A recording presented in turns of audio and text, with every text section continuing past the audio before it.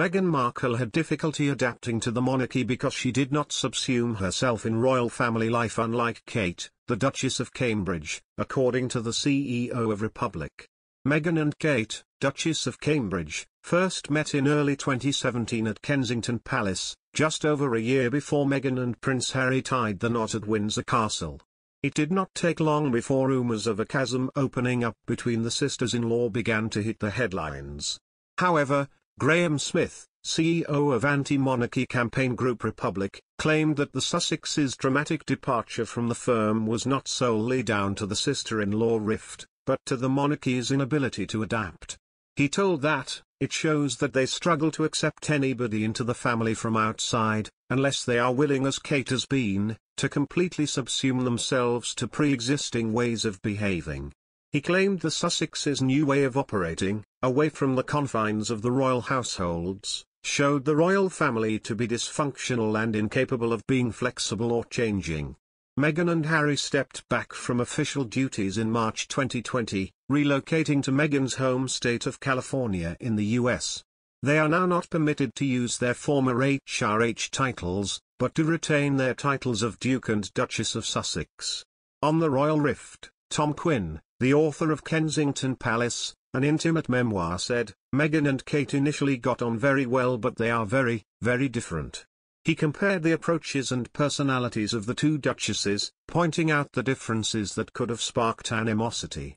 Kate wants to do things quietly, she wants to obey the rules, she takes advice. Meghan is a much more strident character who wanted to do things her way, so this caused a rift.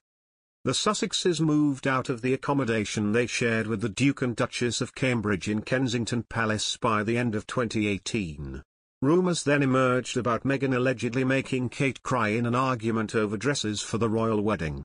Meghan addressed the claims in her now infamous Oprah Winfrey interview, saying the opposite was true and it was the Duchess of Sussex who had broken down in tears. She said, the issue was correct about flower girl dresses, and it made me cry and it really hurt my feelings.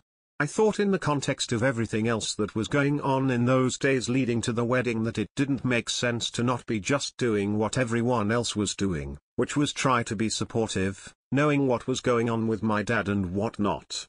She added that she didn't think it's fair to dig into the details of the spat, but that she maintained her opinion of Kate as a good person.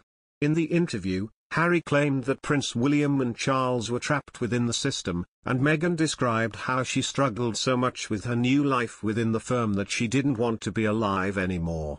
Mr. Smith said, a lot of what Meghan and Harry said in that interview last year rang true for an awful lot of people. He added that it made the monarchy look shabby, inflexible and secretive and incapable of living by the standards of 2022. Last year, Royal expert Emily Andrews suggested that Meghan had hoped to be welcomed with open arms by her sister-in-law, who would sympathize and understand the process of slotting in among senior royals.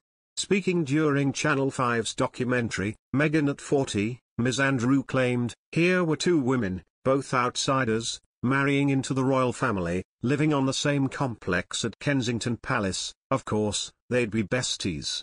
She continued on to say that this was likely Meghan's expectation, to have a confidant who knew the challenges she was facing and offer advice to power through the difficulties.